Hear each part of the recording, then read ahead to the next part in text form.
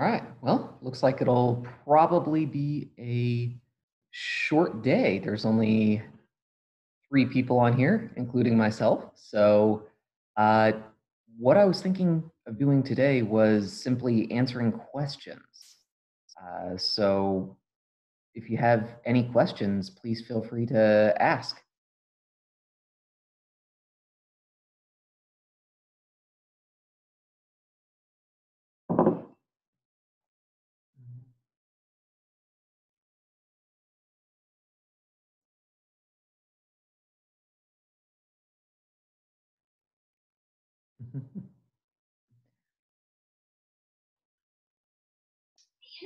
Can we go over a Black-Scholes problem? Yeah. Uh, yeah. Let's. Uh, let me create one actually. That Okay. way you have a little bit of an extra. Well, you have one extra question or two or so. Okay. Uh, let me also share my screen.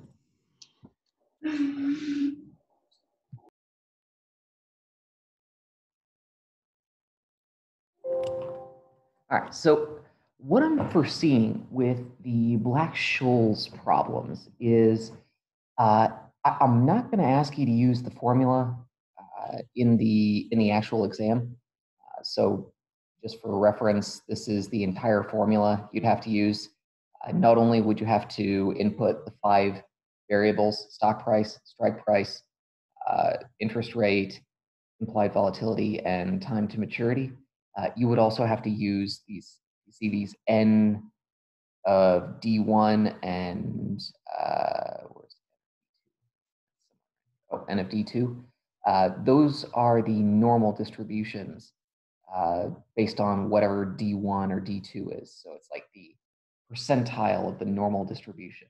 Uh, since you won't have access to uh, the normal distribution tables or be able to calculate the Z statistic because you won't have access to that kind of data. I'm not going to ask you to use this specific formula on the exam. Uh, however, what I would likely or be far more likely to ask you would be something related to uh, what happens or what effects do these five factors have on the price of a call or the price of a put option. Uh, so for example, something I'm might ask might be something like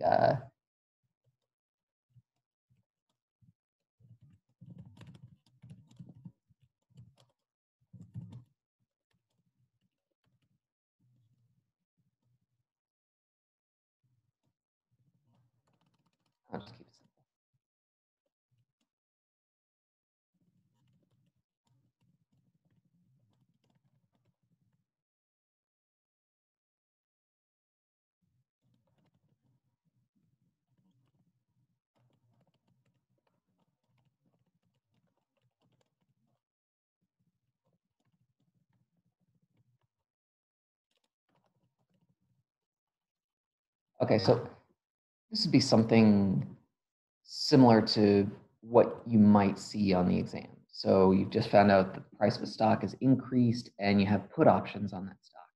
What effect will the increase in the price of the, uh, price of the stock have on the price of the put option? Well, this requires us to think about how a, a put option is priced. So the profit of a put option is K or the strike price minus the stock price minus the premium. And the premium is just the price you pay to purchase the option originally. That's the essentially the upfront cost of the option. So in this example, an increase in the price of the stock means that you're more out of the money. Uh, so let's say the price of the stock is $50 and our strike price is 30 and then the stock price jumps up to $60 per share.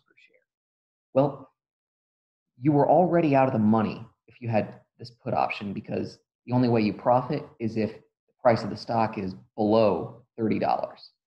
Well, if it moves above 50 to $60, now you've got a, I mean, you're, you're far more out of the money, which means the value of this, this put option will decrease e- even further. I mean, you would never want to exercise this option even if the price was only $50 as opposed to $60.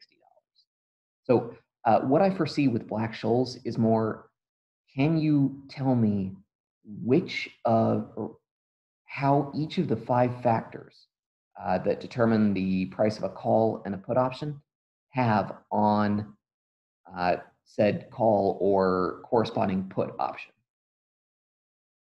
So I, realistically, I'm probably not going to ask you uh, what relationship the uh, changes in the interest rate have, just because that one is not so intuitive. But if the you know, more likely I'll ask you about the other four, one of the other four. So stock price increases or decreases, strike price increases or decreases, uh, implied volatility increases or decreases, uh, and then uh, time, uh, so longer time or shorter time.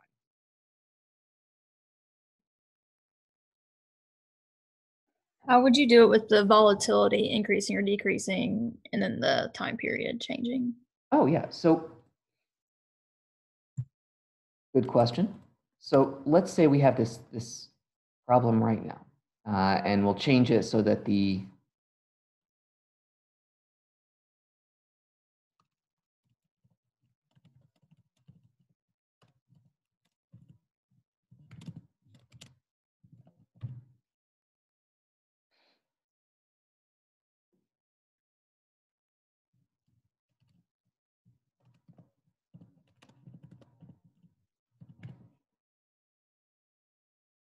Okay, so in this case, uh, the only thing that happens is the implied volatility is increased. Well, the implied volatility means that the underlying stock is expected to be far more uh, or have a far more variable price, which means that there's, yeah, it, it probably won't increase the percentage of time that you're in the money, but if you're in the money, you're more like to be more likely to be way in the money. Uh, so the effect of an increase in implied volatility is that it will always increase the value of the put option and it will always increase the value of a call option. The reason for this is because when the underlying asset gets more volatile, yeah, it's, it's not increasing the probability that you're in the money, but it is increasing how much you are in the money uh, when you are in the money. So uh, basically, implied volatility has a positive relationship with the price of a call and the price of a put.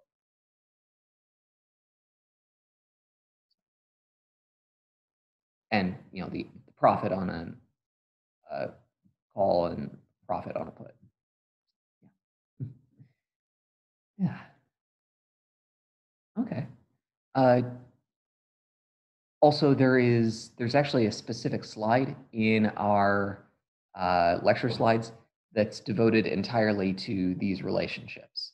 Uh, I, I, would strongly recommend studying that uh, intently.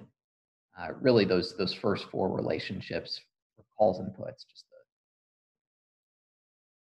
stock price, strike price, implied volatility, and time to maturity.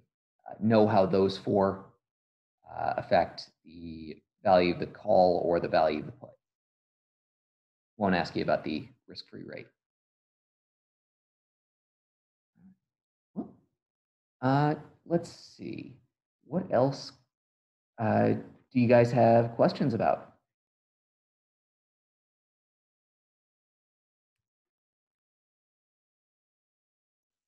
Can you go over all the different types of calls and like the long straddle, short straddle stuff? Yeah, sure. Uh, so chances are, as I begin this, uh, you're probably not going to be, I guarantee you, I'm not going to ask you about uh, too many crazy option trading strategies.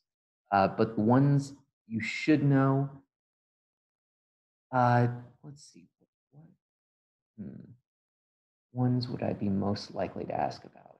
Uh, hmm. I think the one that I'd be most likely to ask you about uh, would be the covered call. And actually for this one, let me pull up my paint program. And so with the covered call, what you're doing is you are you're you you're buying a stock and you're selling a call a call option. Uh, so let's think of a couple of cases. When you buy a stock, your profit on that stock or the value of that stock obviously goes up like this. Uh, if this is the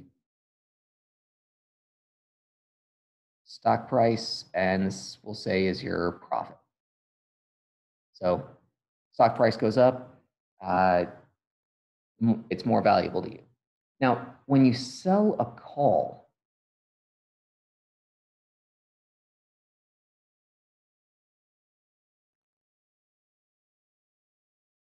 sorry about my uh, garbage skills. uh, so when you sell a call, it's what it looks like is this.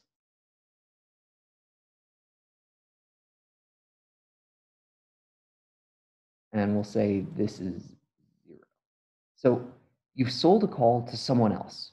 As long as the stock price is below the strike price, you get the value of the premium, which is essentially this. Uh, so if this is like $2 per option contract that you sold, uh, this is your profit.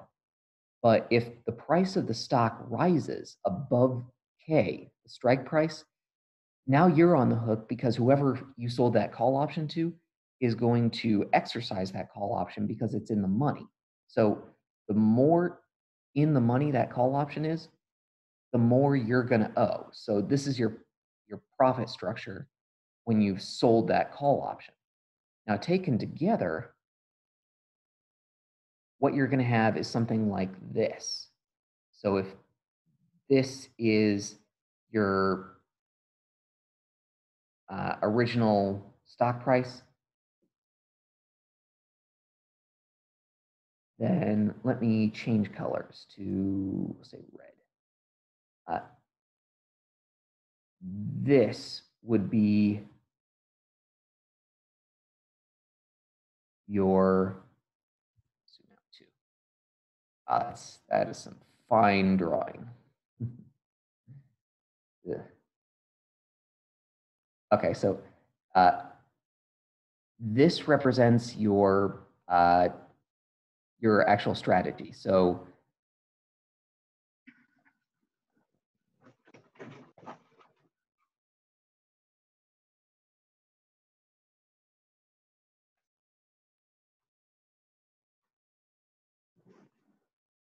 So the black line here is when you just buy the stock.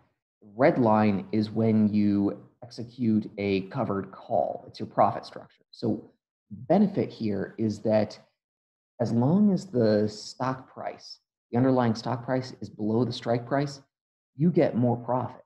I mean, you you profit because you got the premium by selling the call option. But the problem is if the price rises above the strike price, well, now you're paying out uh, this area right here. You're, you're having to pay out because someone's going to exercise that call option, and that's going to lead to a loss for you on your option, but you're still getting the profit from the stock. So what ends up happening is uh, this balances out. You get a flat line here in terms of profit. Uh, the, the stock and the option cancel each other out. Yeah, so that is the covered call. That's, I mean, of all the option trading strategies uh, that I might throw at you, that would be the by far the most likely. Uh, yeah, so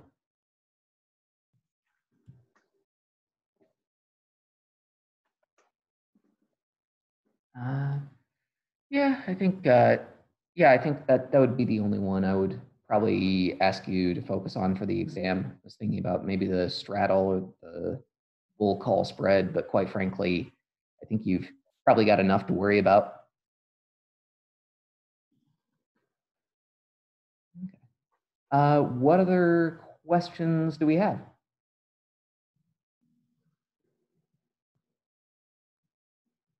Mhm. Mhm.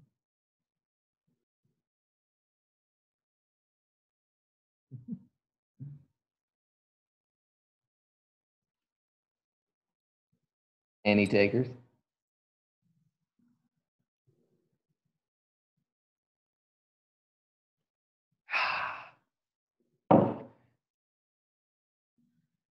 Okay. Uh, so it, while you're thinking of questions, uh, I, did have a conversation with a student and I did get a chance to ask them. So I haven't written the exam yet. Uh, I'm probably going to write it this afternoon. Uh, and I was trying to determine how many questions to put on the exam. So, like I said, it's going to be uh, very similar to exam two, uh, but I was debating between 25 and 35. And uh, based on that conversation with that student, I'll probably keep it on the lower end and still give you guys two hours to complete the exam. So I'm thinking probably probably 20 questions as or sorry 25 questions as opposed to say 35. Uh,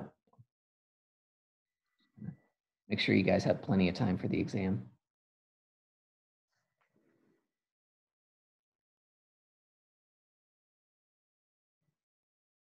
Hmm. Yeah. We need to know a lot of the line item stuff. Uh, that. So I won't be asking you to uh, do any complicated uh, calculations with the line items, but I mean, you should know the basics of accounting. So assets equals liabilities plus uh, ec- uh, equity. Uh, you should know kind of how the the income statement is laid out. Uh, the reason being, you know, if I ask you a question on, hey, this this free cash flow strategy involves you uh, identifying revenue in a given period or estimating revenue in a given period and then calcul- calculating, uh, oh, let's say net operating, uh, we'll say uh, cost of goods sold and then uh, operating profit and then using that to determine net income. And you're basing your entire assumptions on the percentage change in revenue. Uh, what what method of forecasting would this be? Well, it'd be the percentage of sales strategy. So I, I won't be asking you to go from line item to line item specifically, but you should know kind of the, the basics. Uh,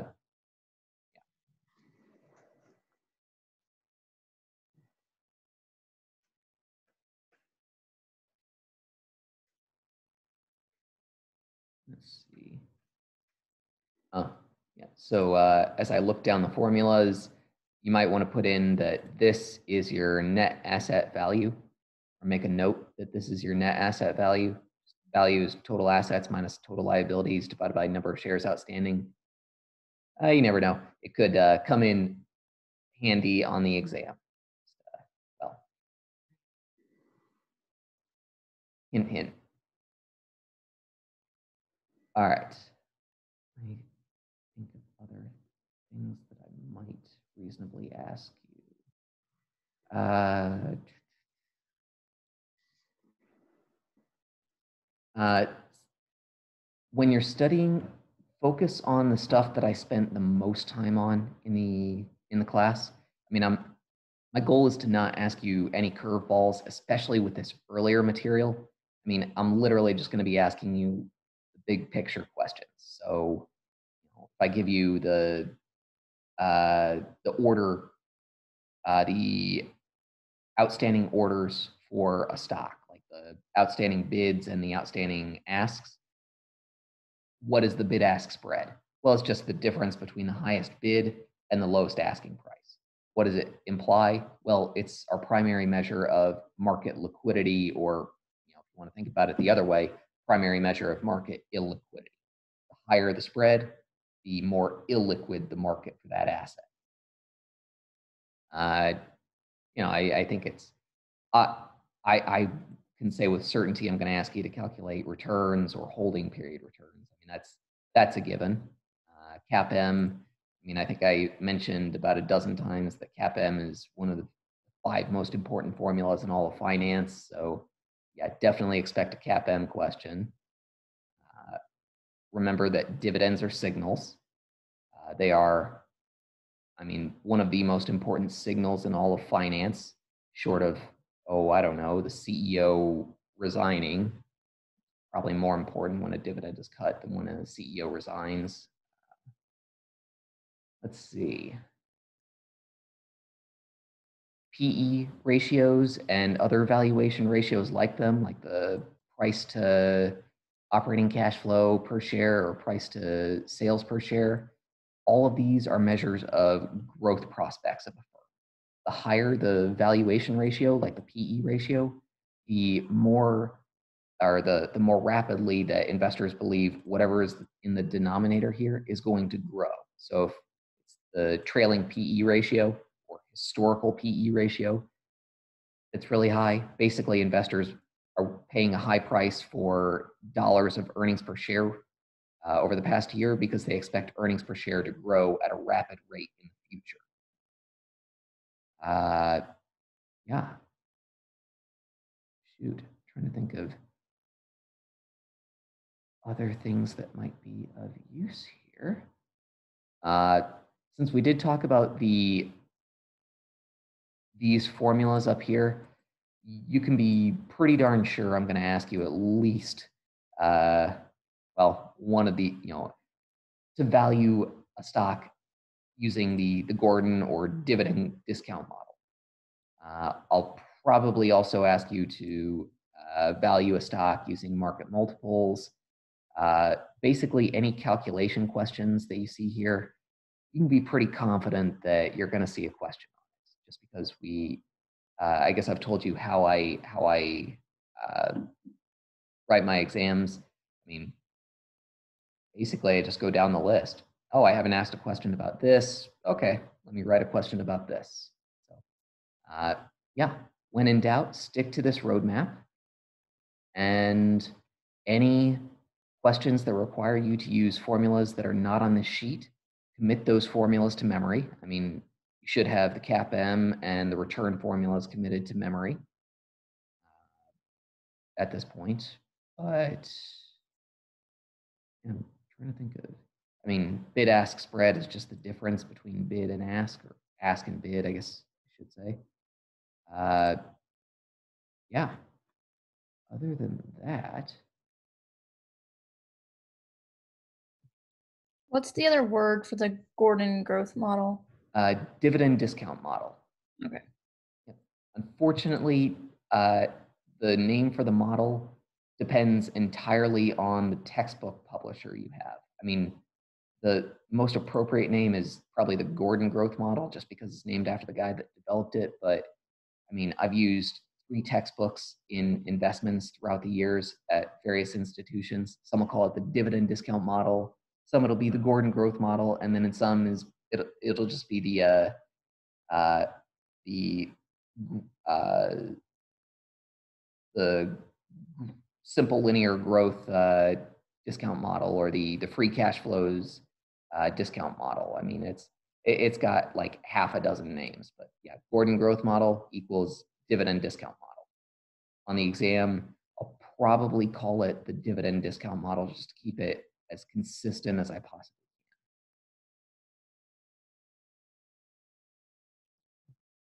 can. Is the perpetuity formula on the reference sheet? Oh, good question. Uh, no, that that is one uh, you will absolutely want to commit to memory, and it is just price equals dividend divided by uh, discount rate. So basically, if so, the I mean the really the only example I can give you off the top of my head where we ever use this formula in practice is with that preferred stock where it's just, it pays out a set dividend each period. So we put our dividend here, divide by, uh, usually it's just going to be the, the interest rate or the yield on that preferred stock, and then out comes the price.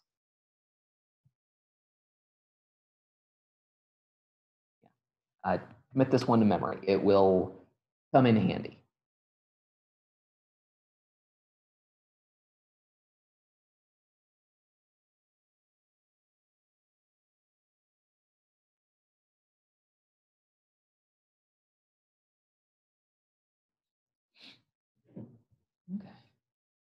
Well, feel free to fire off any other questions.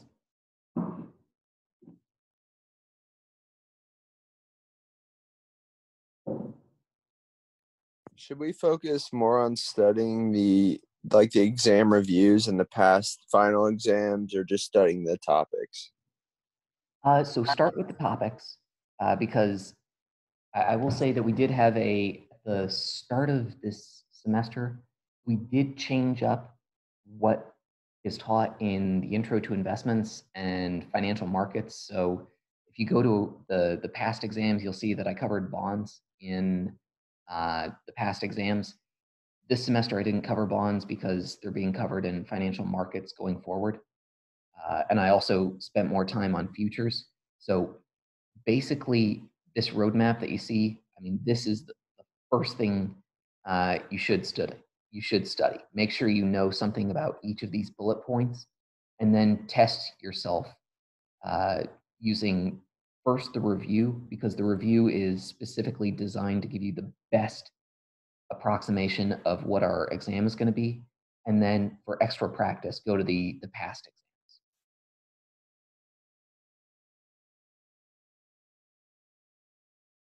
So uh, my recommendation, you know, just go bullet point by bullet point as you're studying and see if you can, you know, write a short blurb or you know, rattle off something about each of these. So for example, what is the goal of stock valuation? Well, determine whether a stock is undervalued or overvalued.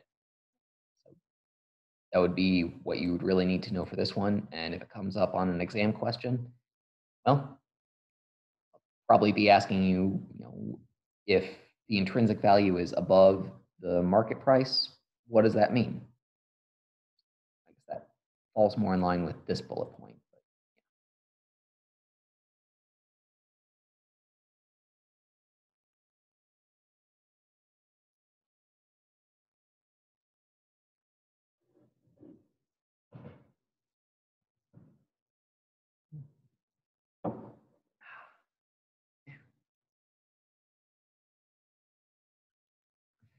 Almost thought of uh, having this thing outside today. Chilly. Okay. Well, uh, are there any other questions?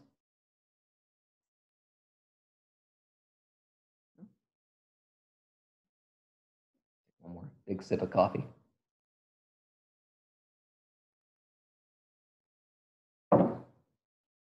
Okay. Well, uh, why don't we do this? If you guys do have any other questions, I mean, at all, uh, I'll be around. I did schedule to, uh, I did leave my schedule open from 8 to 11. So I'll be happy to, you know, work a Zoom meeting or uh, answer any questions as soon as I get them. Uh, but yeah, I guess I'm, I'm kind of out of review material unless someone else has something. Uh, also, if you do have questions in the run up to the exam, so the exam window will be open from uh, basically midnight on Monday until uh, 11:59 at uh, on Friday night. Uh, so you'll have a full five days to work it. if you do have any questions right up until the start of the exam, please email me. Please call me. I mean, my number is I think on the syllabus. That's my actual cell phone number. So you know, feel free to make use of it. Uh, yeah, beyond that, I, I guess, yeah, I guess I'm out of uh, things to say about the exam.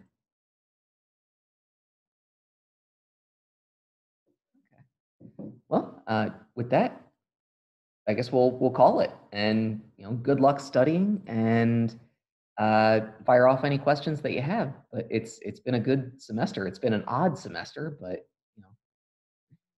a lot of good questions this semester.